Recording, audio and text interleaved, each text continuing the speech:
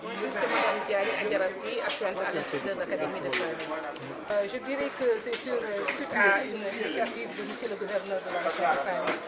que les dames de service de la région ont mis en œuvre euh, l'activité qui nous a menés à la cérémonie d'aujourd'hui. Il s'est agi de collecter des dons en faveur de la maison d'arrêt et de correction de service pour aider à améliorer les conditions de dans cette Saint-Louis a la chance d'avoir un gouverneur qui a été travailleur social, donc c'est de lui qui, est venu l'initiative. Et nous nous sommes rapprochés du directeur de la maison d'arrêt de correction, qui nous a fait un état des lieux, qui nous a permis de connaître vraiment les besoins de cette structure. Et nous avons euh, essayé de collecter à travers euh, les membres du CRD, mais aussi à travers des personnes privées, des entreprises, euh, ce qui était nécessaire donc, pour rendre la vie des pensionnaires plus facile.